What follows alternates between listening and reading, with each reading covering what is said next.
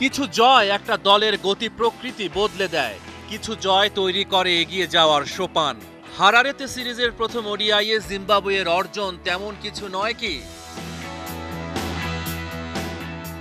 টাইগাররা আপসেটের শিকার। টানা পাঁচটা ওডিআই সিরিজ জিতে জিম্বাবুয়ে সফরে বাংলাদেশ।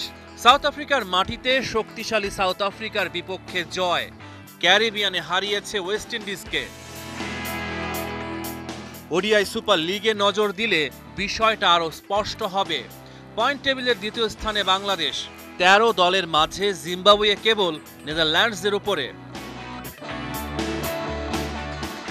চলমান সিরিজটা ওডিআই সুপার লিগের অংশ নয়। র্যাঙ্কিং বলছে বাংলাদেশ আর জিম্বাবুয়ের ব্যবধান আট। নেদারল্যান্ডস সংযুক্ত আরব আমিরাত, স্কটল্যান্ড এবং আয়ারল্যান্ডেরও নিচে জিম্বাবুয়ে।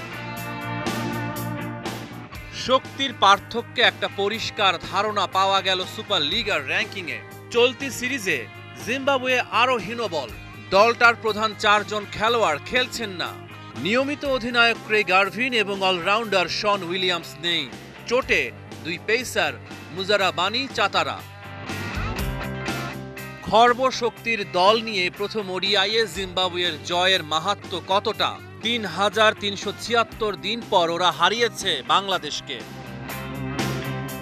বর্তমান দলের কেবল দুইজন খেলোয়াড়ের বাংলাদেশের বিপক্ষে জয়ের অভিজ্ঞতা ছিল, রেজিস চাকাভা এবং সিকান্দার রাজা। দেশটার নতুন প্রজন্ম নিয়েছে অচেনা এক স্বাদ। শুক্রবারের ম্যাচের আগে সবশেষ উনিশ ওডিআইয়ে বাংলাদেশের কাছে হেরেছে জিম্বাবুয়ে। প্রথম ওডিআইয়ে টাইগারদের হারের কারণ কয়েকটা।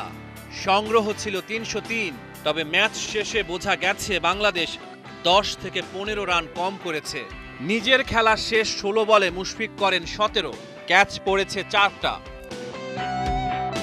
বাংলাদেশের চেয়ে জিম্বাবুয়ে পিছিয়ে ছিল সব দিক দিয়েই, তবে শক্তি সামর্থ্যের ব্যবধান ঘুচে গেছে অদম্য ইচ্ছা শক্তিতে রহমান পেয়ার, একাত্তর।